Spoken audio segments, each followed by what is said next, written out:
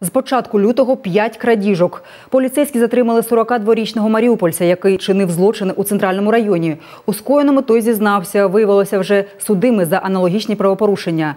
Виявили рецидивіста завдяки місцевому жителю. Він повідомив, що з його офісу вкрали техніку. На місце події виїхали оперативники. За кілька годин підозрюваного знайшли. Безденежье, мать пенсионерка, как бы, я ж работу не нашел, как бы, ну, у матери брать, там, что- что-то с квартиры тянуть, я, ну, на такое не пойду. Ну, это и стало поводом для совершения преступления. Аби спростити шлях транспортування краденого до себе додому, останній орудував тільки вночі та підбирав будинки, які найближче розташовані до його власного будинку. За фактом відкрито кримінальне провадження за частиною 3 статті 185 Кримінального кодексу України. Крадіжка поєднана з проникненням в житло.